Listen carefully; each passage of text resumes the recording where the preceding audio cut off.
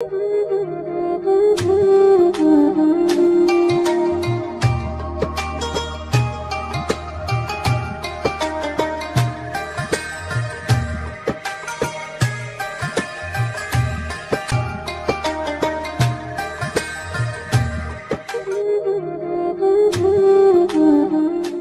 बिसमीम अल्लाम welcome to my YouTube channel cook with Sadia Amin. Friends, आज मैं आपके लिए लेकर आई हूँ गोल्ड कॉइन्स की रेसिपी। रमदान दस्तरखान के लिए बेस्ट आइडिया है और साथ ही साथ किड्स के लंच बॉक्स के लिए भी हिट रेसिपी है। सबको बहुत ही पसंद आती है और बहुत ही ईजी है।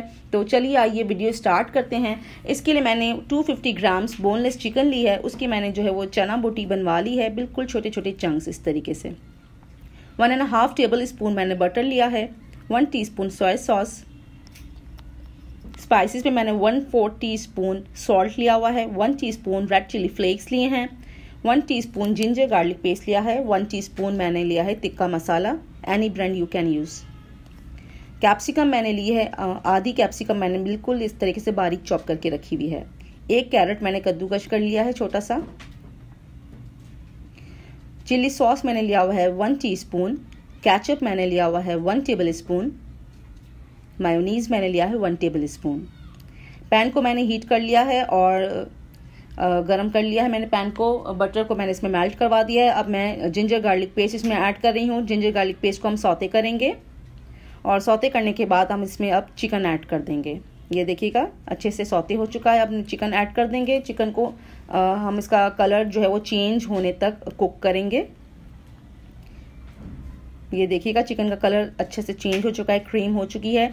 अब हम अपने वेजिटेबल्स कैप्सिकम और कैरेट दोनों मैंने इसमें ऐड कर दी हैं। सोया सॉस मैंने ऐड कर दिया है और स्पाइसेस मैं सारी इसमें ऐड कर रही हूँ। इसको हम अच्छे से मिक्स करेंगे और चिकन का पानी जो है जब ड्राई हो जाएगा तो इट मीन्स कि हमारी फिलिंग जो है वो रेडी हो चुकी है। ये देखिएगा फिलिंग बिल्कुल अच्छे से रेडी हो चुकी है, पानी सारा ड्राई हो चुका है। चिकन मैंने ठंडी कर ली है और ठंडी करने के बाद अब मैं इसमें चिली सॉस ऐड कर रही हूँ मायोनीज़ ऐड कर रही हूँ और कैचअप ऐड करूँगी। इन सब चीज़ों को मैं अच्छे से मिक्स कर लूँगी। हमारी जो है गोल्ड कॉइन्स की फिलिंग अच्छे से रेडी हो चुकी है। ये देखिएगा, मैंने ब्रेड स्लाइसिस ली हैं और एक मैंने कटर लिया है इस तरीके का। अगर आपके पास ये कटर अवेलेबल नहीं है तो आप ग्लास या कोई भी कटोरी का इस्तेमाल कर सकते हैं। इस तरीके से मैं ब्रेड के ऊपर जो है इसके गोल्ड कॉइन्स जो है मैं निकाल दूँगी। एक स्लाइस के तकरीबन मैंने तीन गोल्ड कॉइन्स मैंने इस तरीके से निकाले हैं। ये देखिएगा, इसके एडजस को जो है गोल्ड कॉइन्स के एडजस को हम पानी में हल्का सा डिप करेंगे, ताकि ये अच्छे से पेस्ट हो जाए एक दूसरे के साथ। अब फिलिंग को मैं अप्लाई कर रही हूँ। फिलिंग मैंने इसके ऊपर रख दी।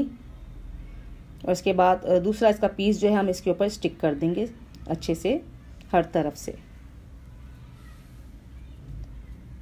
बहुत ही मज़े की ये रेसिपी है।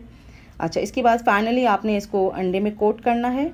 अंडे में कोट करने के बाद आपने ब्रेड क्रम्स में इसको कोट कर देना है। रेडी होके ये अपने साइज़ से काफ़ी बड़े लगते हैं। ये देखिएगा ब्रेड क्रम्स में मैंने अच्छे से कोट कर दिया है। इस तरीके से।